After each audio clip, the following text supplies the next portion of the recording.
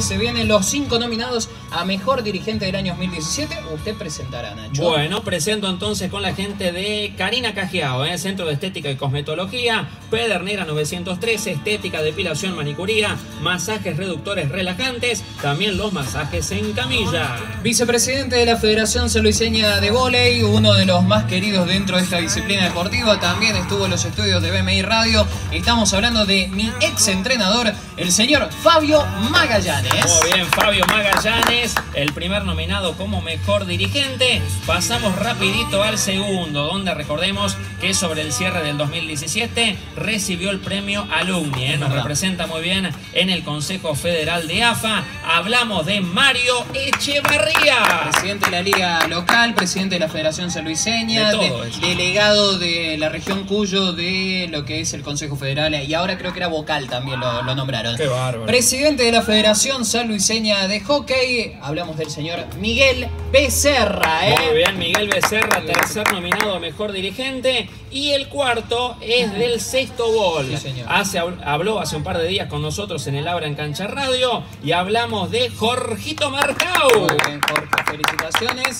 Finalmente, uno de los encargados del equipo de N-Bike que tiene entre sus filas gente como por ejemplo Francisca Chiesa, Jessica Guzmán, Valentín Guzmán, entre tantos otros, Santi Chiesa también, excelentes ciclistas, estamos hablando del señor Daniel Nanfara. Muy bien, Daniel Nanfara que está entonces dentro de la categoría mejor dirigente, así que repasamos, Fabio Magallanes, Mario Echevarría, Miguel Becerra, Jorge Mercado y Daniel Nanfara. Y nos queda una más, Nacho. Nos queda mejor club o institución deportiva. Entonces, ya para conocer a todos los nominados de las 17 categorías, usted presentará. Y bueno, lo presenta la gente de B&D Vinos y Dulces, regalería, tabaquería, vinos de calidad y espumantes, café, conservas, chocolates. Lo mejor para acompañar esos momentos especiales. B&D Fuerte Constitucional 44, ahí te están esperando. Los primeros nominados son, como lo veníamos diciendo, abonados siempre de los premios Abra Engancha. Han tenido excelente participación a nivel nacional e internacional. El año pasado anduvieron por... ¿El año pasado fue por Jamaica? No, el año pasado fue por Paraguay, fue por Chile, si no me equivoco también. Anduvieron por todos lados. Estamos hablando de la Academia de Taekwondo de Ernesto Panin. Muy bien. Primera nominada a Mejor Club o Institución Deportiva. Bueno, es un gran club de nuestra ciudad, una gran institución y estamos hablando de la gente del patín. Hablamos del IPM, el Instituto Patín Mercedes. Campeones provinciales, bicampeones provinciales en el año 2017. Bueno, un club ejemplo a nivel provincial, tiene fútbol, tiene básquet, tiene tenis, tiene pileta de natación, ha crecido mucho este año, la gente lo valora y lo toma como un club ejemplo a nivel de San Luis. Estamos hablando del club Jorge Newbery. Muy bien, Jorge Newbery que está en este caso dentro de la categoría Mejor Club o Institución. Cuartos nominados están ellos, ¿eh? que nos representan siempre muy bien. Lo que movieron en la tercera edición de los premios Abra en Cancha, hasta fueron con su banderita, como van a todos lados. Hablamos de la gente del Mercedes Pista y Campo. Felicitaciones a la agrupación, encabezada por Mario Quiroga y por Roberto Gómez. Y cierra una institución que ha crecido muchísimo en el año 2017, con muchas disciplinas deportivas ball, también futsal, ahora metiéndose en el ámbito del hockey, también del Newcom. Estamos hablando del Club Deportivo Cuyo. ¿eh? Muy bien, el Club Deportivo Cuyo que ha crecido en cada una de sus disciplinas deportivas. Exactamente. Ya tenemos entonces a los cinco mejores o a los cinco nominados para Mejor Club Institución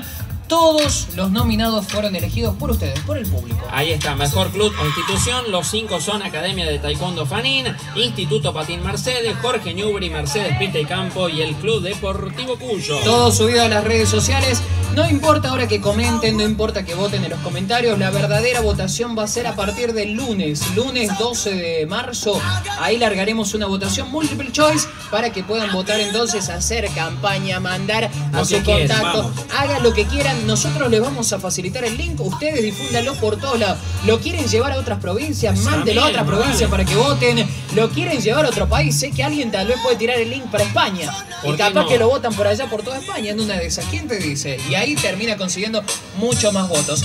Todas las categorías, todas las placas están en el Facebook de Ahora en Cancha. Si recién se van sumando, fíjense en el Facebook que están todas las 17 categorías de la cuarta edición de los premios Abran Cancha. Así que recordamos la fecha, 31 de marzo, el gran evento que va a ser en el complejo Molino Fénix, donde habrá muchísimos artistas, habrá sorteos, muchas novedades más para los próximos días, ya lo dijimos, vamos a comentar una novedad que va a ser muy importante y obviamente también va a ser historia en la ciudad de Villa Mercedes. Exactamente, saludar a Fernando Lombardo, entonces Nutrición de Movimiento, a Patricia Ramírez Fitness, a la Unión Obrera Metalúrgica Seccional Villa Mercedes, a Mega Fitness, a Karina Cajiao, Centro de Estética y Cosmetología, a Up Gym, a Bay de Vinos y Dulces, a la Casa de las Tortas, a Tenio Cabrini, a la gente de Body Power y a la gente de Azum Gonzalo Automotores, más los que se van sumando también a la premiación. En este caso, la gente también de Real Color que se ha sumado, la gente de la UTGRA que también se ha sumado para los premios, la gente del Molino Fénix y la Municipalidad de Villa Mercedes que también va a estar con nosotros. ¿eh? Así que bueno, agradecerle a toda la gente por habernos acompañado en este programa especial acá desde la Plaza del Mercado, desde la hora 15 hasta la hora 17 y ya obviamente finalizando este día lunes, que ya lo finalizamos así, levantando los premios, quien les habla con el premio Labor Humorística, mientras que mi compañero está con el premio Relator Comentarista Deportivo. Agradecer también por el premio que recibimos, Transmisión Deportiva, donde repetimos por segundo año consecutivo. por la transmisión de boxeo con el gringo Bailone. Gracias a todos. Mañana retomamos el formato habitual de Abran Cancha, 15-30 horas. Estaremos nuevamente con Abran Cancha Radio. Lunes que viene la votación y 31 de marzo la cuarta edición de los premios Abran Cancha.